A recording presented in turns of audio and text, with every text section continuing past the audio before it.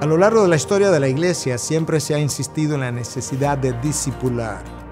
Y muchas veces el discipulado se ha malentendido porque hemos creído que discipular básicamente consiste en enseñar un cuerpo de doctrinas y otras veces en enseñar la aplicación de esas doctrinas.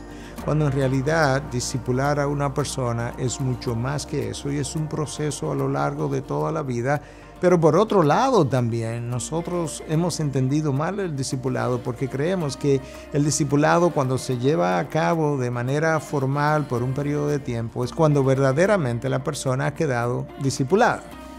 Discipular a alguien es ayudar a esa persona a que se conforme al carácter de Cristo. De manera que cuando nosotros predicamos, estamos discipulando. Cuando nosotros enseñamos en una escuela dominical, estamos discipulando. Cuando nosotros nos reunimos uno a uno con alguien, estamos discipulando. Cuando nosotros nos reunimos en un cuarto de consejería a guiar a esa persona a través de un problema, estamos discipulando. El discipulado es cada cosa que un discipulador hace de manera intencional por uno o por muchos con la idea también intencional de ir formando el carácter de Cristo en ellos.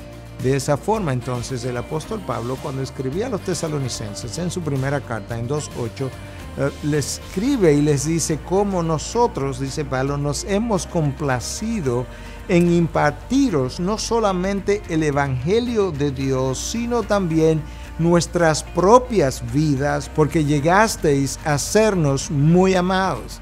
Ahí hay tres principios. Número uno, Pablo compartió el Evangelio, eso es algo que tenemos que compartir. Pablo compartió su propia vida.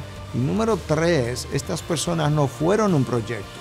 Estas personas fueron ovejas muy amadas, de tal forma que implica no solamente dar de lo que tu mente sabe, sino dar de tu corazón, de tu propia vida, de la manera como Cristo lo hizo. Él no solamente le enseñó el Evangelio, no solamente vivió el Evangelio, eventualmente fue y entregó su vida por ellos.